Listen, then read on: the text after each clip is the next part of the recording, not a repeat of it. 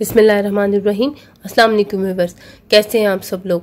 उम्मीद करती हूँ आप सब लोग खैरियत से होंगे। Welcome to Sam's kitchen video देखने से पहले हमारे चैनल को सब्सक्राइब और लाइक करना ना भूलिएगा व्यूवर्स आज जो रेसिपी मैं आपके साथ शेयर करने जा रही हूँ, वो है मज़ेदार से काले चने शोरबे वाली। तो चले चलते हैं अपनी रेसिपी की तरफ़ और देखते हैं इसे बनाने के लिए हमें क्या कुछ चाहिए। इंग्रेडिएंट्स में सबसे पहले हमने लिए हैं काले चने। काले चने हमने लिए हैं आधा किलो। हमने उन्हें साफ़ करके तो अच्छी तरह रात भर भिगो दिया था और सुबह उठ के फिर एक दफ़ा पानी से धो लें। टमाटर हमने लिए हैं दो अदद मीडियम साइज़ के, उनको बारीक बारीक काट लें। प्याज हमने लिए हैं तीन अदद मीडियम साइज़ के, उनको भी बारीक बारीक काट लें। लहसुन अदरक का पेस्ट हमने लिया है तीन खाने के चम्मच। और हरी मिर्चें हमने ली हैं पाँच से छः अदद उनको बारीक बारीक काट लें और अब चलते हैं अपनी रेसिपी की तरफ़। सबसे पहले हमने एक प्रेशर कुकर ले लिया, उसमें ऑयल डाल लिया। अब उसमें हम डालेंगे प्याज। प्याज डाल के अब प्याज को कर लेंगे गोल्डन ब्राउन कर लेंगे और उसको फ्राई करेंगे। गोल्डन ब्राउन होने तक फ्राई करें। प्याज जब गोल्डन ब्राउन होना शुरू हो जाए तो अब हम इसमें डालेंगे लहसुन अदरक का पेस्ट लहसुन का पेस्ट डाल के इसे थोड़ा सा भून लें। उसके बाद हम इसमें टमाटर शामिल कर देंगे। उसके बाद हरी मिर्च डाल दें। अब इसमें हम मसाले डालेंगे, नमक डालेंगे एक टेबल स्पून या हंसबे ज़रूरत कम ज़्यादा कर सकते हैं, बाद में चेक कर सकते हैं। उसके बाद हल्दी डाल दें एक टीस्पून लाल मिर्च हम डालेंगे एक टेबल स्पून अब हम इस मसाले को थोड़ा सा भून लेंगे। मसाले को थोड़ा सा भूनेंगे, उसके बाद हम इसमें डाल देंगे चने।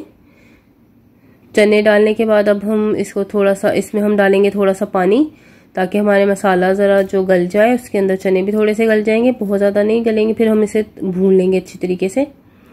और हम प्रेशर कुकर बंद करेंगे पंद्रह मिनट के लिए, दस से पंद्रह मिनट के लिए बंद कर दें।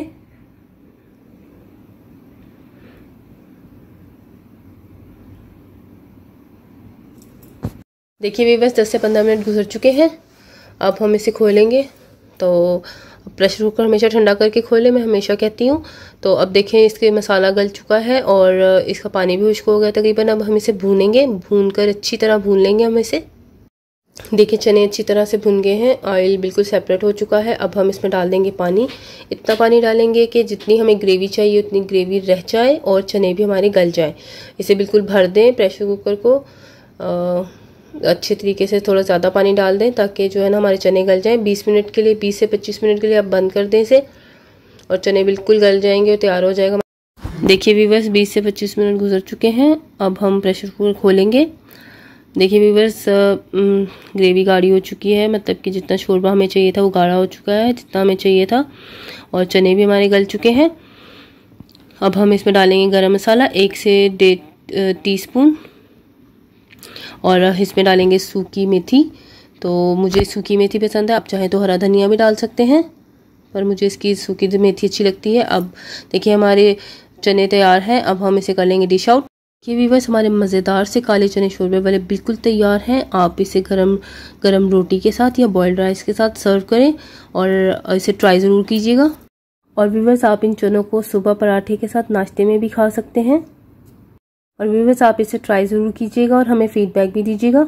हमारी मज़ीद अच्छी वीडियोस देखने के लिए हमारे चैनल को सब्सक्राइब करें और उसके साथ ही बेल आइकन के बटन को दबा लें ताकि हर आने वाली नई वीडियो की नोटिफिकेशन आपको पहले मिल सके। अगर आपको हमारी वीडियो अच्छी लगी है तो लाइक करें कमेंट करें और अपने दोस्तों के साथ शेयर करें। व्यूवर्स आज की टिप ये है कि अगर आप चनों को रात भर भिगोना भूल गए हैं तो आप इन्हें सोडा लगाकर एक घंटे के लिए भिगो दें और बॉईल करके पका लें। ये बिल्कुल सही तरीके से गल जाएँगे। और वीवर्स ये थी आज की हमारी रेसिपी तो आप इसे ट्राई करें और हमें दीजिए इजाज़त और हमें अपनी दुआ में याद रखिएगा। थैंक यू अल्लाह हाफिज़।